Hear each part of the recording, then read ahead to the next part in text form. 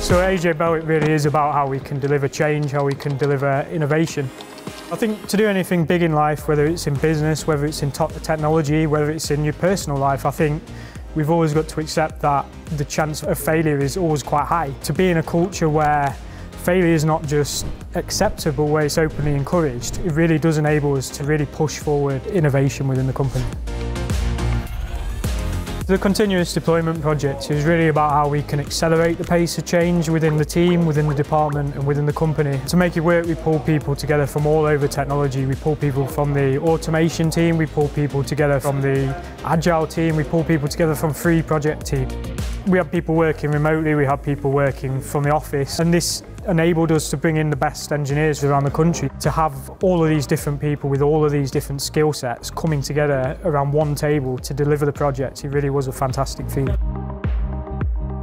Continuous deployment, it's about moving from the manual to the automated. We've been able to strip out the manual testing from our deployment process and we've moved to a fully automated approach and that's how we've been able to cut the lead time by such a significant amount. It's allowed us to increase the release frequency within the team fivefold. We've tripled release frequency in the company within six months. We've cut lead time by 98%. We're delivering more change to our customers than what we've ever been able to before. And the impact has just been huge. Customers have got a unbelievable appetite for change. They want new features, they want new functionality, they want new capabilities. And continuous deployment really enabled us to deliver that change much faster.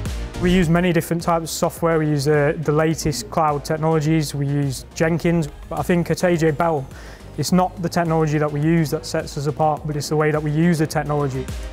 I mean, the CTO was, was fantastic throughout the project. He was very supportive. I remember when the project came to an end, he actually came over to my desk, thanked me for all my hard work and said, said well done to, to all of us. To have the support from the top, it makes things a hell of a lot easier. We know we've always got that backing, we know we've always got that support, and we know we've always got the ability to really do things that are innovative that can ultimately benefit the customer.